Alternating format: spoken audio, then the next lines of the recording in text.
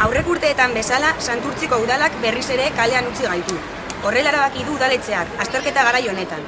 Non Santurtziko ikasle pila dituzten behar izanen aurka, liburutegian ezarritako ordutegiek ez dituzte gazteon behar izanak asetzen. Ikasle izatea ez da inoiz erraza izan. Are gutxiago, gaur egun pairatzen dugun egoera kritiko honetan. Gure etorkizuna erekitzeko beharrezkoa den formakuntza lortzea sai egiten zaigu, eta horregatik ikasleok instituzioen laguntza eta empatia beharrezkoak ditu. Bereziki, euren lehentasuna garela behin eta berriro azpimarratzen dutelako. Gauzak horrela, liburutegiek, ikasteko eta kulturaren bosgoraiu diren enean, gure beharri izanak asetzeko beharrezko diren ordutegi eta erreztasunak eskaini behar dituzte. Baina, errealitatea latza suertatzen zaigu. Udaletxeak eta kultura departamentuak ezarritako ordutegiek ez dituzte gure beharrak asetzen. Goiz ez bakarrik irekitzeak, bereziki azterketa eta errekuperaketa garaiak gauden enean, ez dute santurtziko gazteon eskaria betetzen.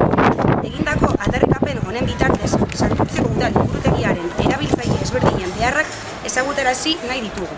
Geure artean dauden ezberdintasunak alde batera utziz, ikasketa eta formakuntzaren beharra ditugun enean. Hau horrela izan da, udal liburutegiak ez dira itxita egon behar, zabalik baizik.